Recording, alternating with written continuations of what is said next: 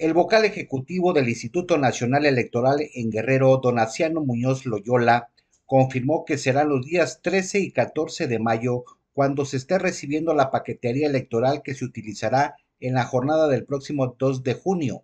Llega el 13 y 14 las boletas, las actas y todo el resto de, de la documentación y una semana previa al día de la jornada electoral le estaríamos entregando los paquetes electorales a las presidentas y presidentes de las casillas. Con eso estaríamos ya listos para que el 2 de junio se lleve a cabo la elección.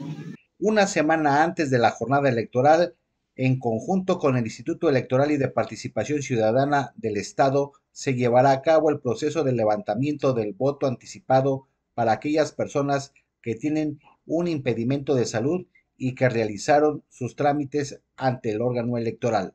RTG Noticias, Felipe Zurita.